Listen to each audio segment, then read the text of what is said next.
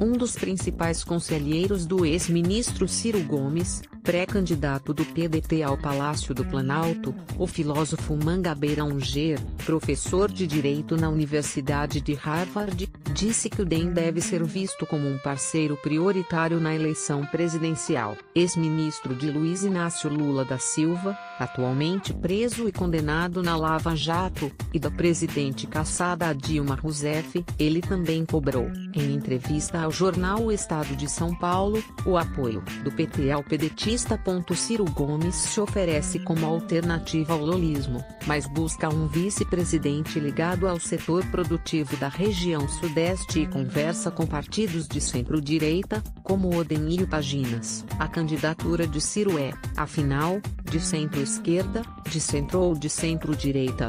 A candidatura do Ciro Gomes deve ter dois lados. De um lado, é uma candidatura de centro-esquerda, que prioriza as alianças com partidos desse campo, a começar pelo PSB e PICDOB. O outro lado, a candidatura de Ciro não deve ser vista apenas como de centro-esquerda. Ela deve se oferecer também como agente social mais importante do Brasil de hoje, que são os emergentes. Quem são eles?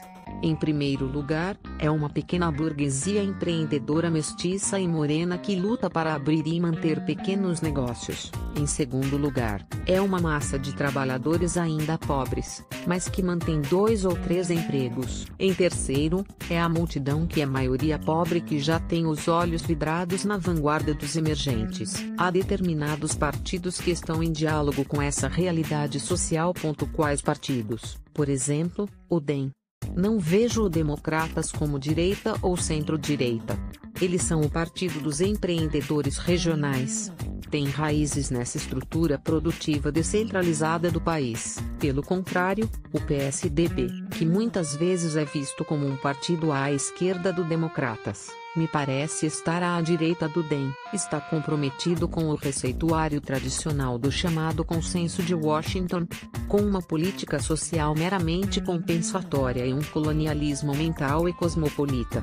Isso que é direita. Não considero que uma aliança com o democrata seja apenas um oportunismo tático. Vejo consistência em manter uma candidatura que tem esses dois lados, que não estão em contradição. Não podemos nos permitir abusar do sectarismo ideológico. Ciro Gomes já afirmou que, se eleito, revogaria a reforma trabalhista, chamada por ele de porcaria. Um dos cotados para vice, Benjamin Steinbruch, é vice-presidente, licenciado, da Fiesp, que apoiou a reforma trabalhista. Não há uma contradição.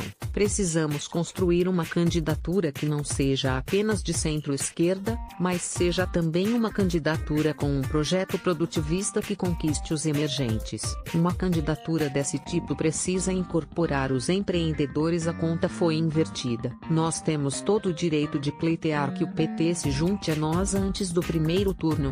Graúdos pequenos e médios. Não vejo nenhuma inconsistência nisso. Ponto é o caso de revogar a reforma. A reforma como foi feita é um exemplo típico do formulário neoliberal. Não serve, mas reconheço que a CLT é insuficiente para reger esse novo mundo de práticas produtivas. Ponto porque Ciro Gomes ainda assusta o mercado. O que há de mais legítimo nas preocupações do mercado financeiro é o realismo fiscal. Ninguém que esteja atuando no primeiro plano da política brasileira demonstrou mais compromisso com o realismo fiscal que o Ciro. Há uma tentativa de partidos do centro de unificar as candidaturas. Acredita que pode sair daí um nome competitivo. Não sei se essas forças tradicionais vão ou não arrumar uma candidatura plausível. Por enquanto, não o fizeram. O que vejo é que temos uma grande obra de transformação institucional no país. A última grande obra institucional no Brasil é a de Getúlio Vargas, e nós ainda vivemos em meio aos destroços do corporativismo do Vargas. O PSDB, que muitas vezes é visto como um partido à esquerda do Democratas, me parece estar à direita do DEM. Lula deu muitos benefícios ao povo brasileiro, mas não deixou um legado institucional. As candidaturas de Lula e Ciro não são dois cavalos andando na mesma direção. Tenho imenso respeito pelo presidente Lula, mas vejo que, se amanhã ele voltasse à presidência, a tendência seria continuar o que fez antes, essa popularização do consumo com o mínimo de construção institucional. É uma forma de fazer política que privilegia apenas o consenso como a esquerda está fragmentada, acha que é importante para Ciro buscar aliança com o PT?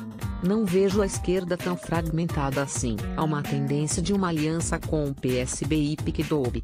E, do outro lado, uma abertura para os partidos do centro, especialmente o DEM. Quanto ao PT, espero que supere a tradição de hegemonismo e desempenhe sua responsabilidade histórica, e que nos ajude. Em muitas eleições essas mesmas forças se juntaram para apoiar o candidato do PT. Agora, estamos em outro momento. A conta foi invertida. Nós temos todo o direito de pleitear que o PT se junte a nós no primeiro turno. As informações são do jornal O Estado de São Paulo.